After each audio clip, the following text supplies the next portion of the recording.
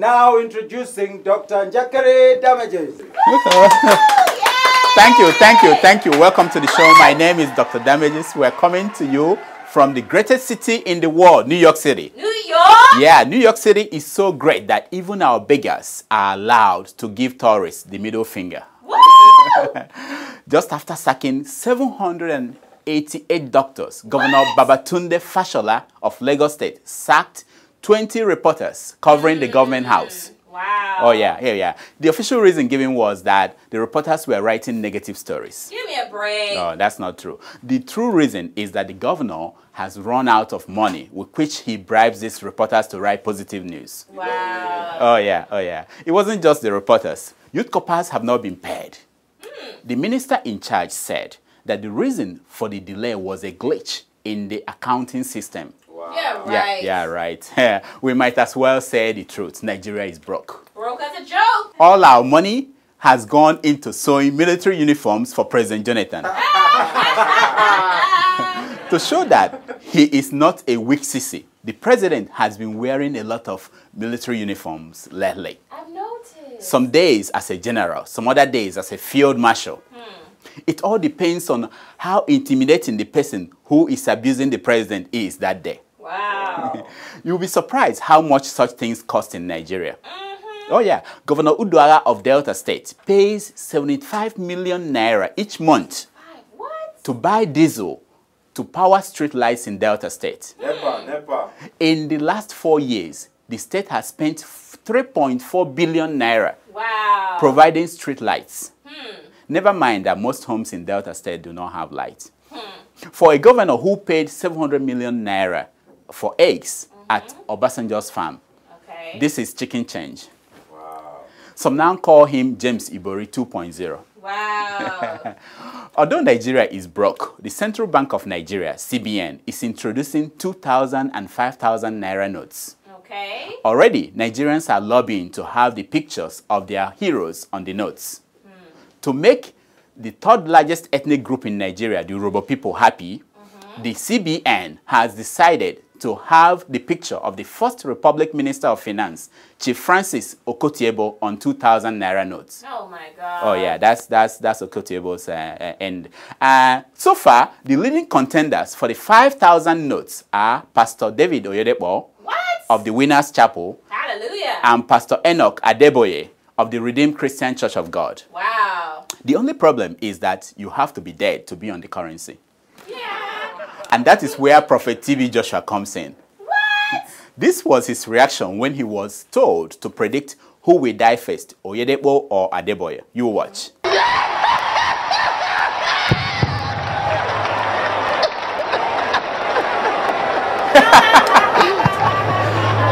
I'm sure you are saying, stop this crap. Tell us the big story. Well, two Nigerian heads of states, President of Southern Nigeria, Dr. Goodluck Jonathan, and the President of Northern Nigeria, Malam Mohammed Buhari, What? are fighting over how bloody 2015 will be for Nigerians. Wow. Jonathan and Buhari are two different men. Yeah. One is a fake general mm-hmm. with fake mustache mm-hmm. and fake Facebook friends. Yeah. The other one is General Goodluck Jonathan. Wow. We have a brand new segment called Wayward Pastors. Here we spotlight anointed men of God who do wayward things. Touch not my anointing. Oh yeah, oh yeah, we're going to touch them.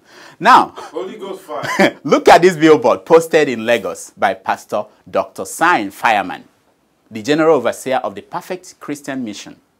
The sign says, all hot girls attend Pastor Fireman's church except you. Hmm. Isn't that beautiful? You want to attend a hot church, don't you?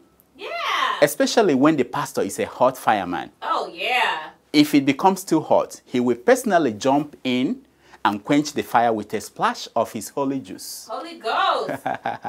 What could be more reassuring? I don't think anything else. But then, when you go down to the fine print, it says, please come with your own condoms. what? We only provide the spring beds and enough Vaseline. Go, go figure. Wow. Now, You see why we call him Wayward Pastor. Exactly. Oh, yeah, oh, yeah. In health news, the FDA just approved a new drug to prevent HIV in healthy people. Hmm. The problem is that it costs $900 a month. Too bad. That is more money than it costs to fix the Diezani Alison-Madueke's $20,000 handbag. Yeah, right? Anyway, welcome back to playing soccer without boots. That is if you are as rich as Nduka Obaigbena. The rest of you, nothing changes. So a lawmaker in Kenya has proposed a cheaper alternative to the drugs. He wants women to shave their heads. The prominent member of parliament believes that if women became less attractive, men will be able to control the thing between their legs that has one eye, no Yeah, bones, right. but yet causes so much trouble. I have a better idea. Why not cut the entire thing off? Exactly. In a related story, a 70 year old virgin in Manchester, England, just announced that she's ready for love. Let me see. A 70 year old car that has not been driven, zero mm-hmm. mileage. Okay. What is its book value?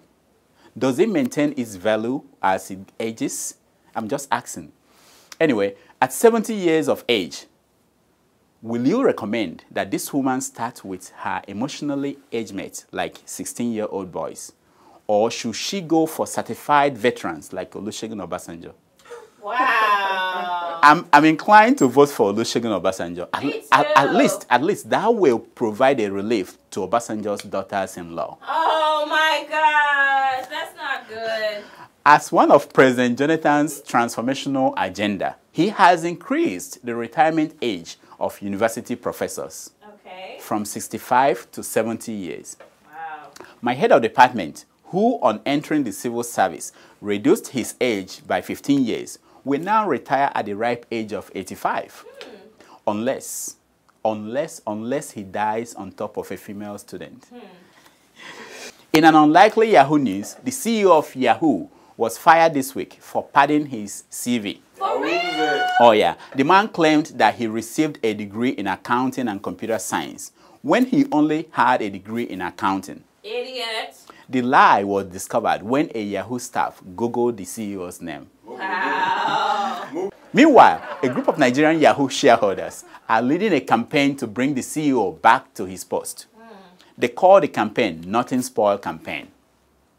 The leaders of this group are Dr. Bola Tinubu, Wow. Dr. Ndi Okereke-Onyiuke, Really? Dr. Abdullahi Dikko, For real? Dr. Gabriel Suswam Okay. of Benue State, Dr. Andy Uba, Dr. Orji Uzor Kalu, Uh-huh. Dr. Sign Fireman, Wow. and other veterans of Certificate Forgery Institute. So far, over 10,000 Nigerians have signed the petition. wow. This week, Bamanga Tukur, the PDP national chairman, informed Nigerians that Boko Haram is fighting for justice. Hmm. I don't get it. Me either. If that is true, then I am doing this show just to make you laugh. Wow. Last week, we made fun of the Christian Association of Nigeria, CAN, Yeah. for issuing the very last final warning to Boko Haram. Final warning. To prove to us that they were serious, they issued this picture to the press. This pastor with his AK 47 is ready to fight back. Hmm. He's not taking it anymore. Obviously, the man of God has said to himself, To hell with the question, what will Christ do? I understand that rich pastors like Pastor David Oyedepo are in the process of buying one or two drones from America. It's gonna be bombastico, bombaski. Finally, some good news from northern Nigeria. Kano State this week conducted its first mass marriage. It involved 100 widows and divorcees. You don't say. Oh yeah, the emir of Kano supervised the event. They even paid part of the dowries for men who could not afford it. Wow. Eh, yeah, yeah. Smart move if you ask me. Smart move. Smart move. No wonder Boko Haram activities in Kano State are minimal. Yeah. When you give young men with boiling blood women, especially women who can take them to heaven every night, these men think less of blowing themselves up for the Wow. promise of women in heaven. Thank Allah. Still on marriages, the Nigerian police will now allow its female officers to marry without first obtaining permission from the police authority. It's about time. Yeah, the law looks so ancient and anti-women. Yeah. But it's not. It's not. It was actually well thought out. Mm-hmm. The reason why it was put in place was to make sure these police women do not fall in love with dirty pot-belly men who will ruin the prestige of the Nigerian police force by, that by right. dirtying the police barrack. And I'll leave you with this story. Mm-hmm. There are a lot of differences between white people and the rest of us. Last week, Time magazine published on its cover page a picture of a woman breastfeeding mm-hmm. her six-year-old son. yeah. It caused outrage in the West. But public breastfeeding is a natural part of Africa's landscape. yeah. It's, it's organic. We make no trouble about that. Not long ago, former President Olusegun Obasanjo publicly took President Goodluck Jonathan's mouth off his breast. he didn't wean him off. He just took the breast off the, the mouth off his breast. wow. That was how we ended up in this traffic jam. We know they go forward, we know they go backwards. Hmm. That's not right, OBJ. That's not right, OBJ. That's not right. That's not right. Until next week, I am Dr. Damages. I diagnose. You heal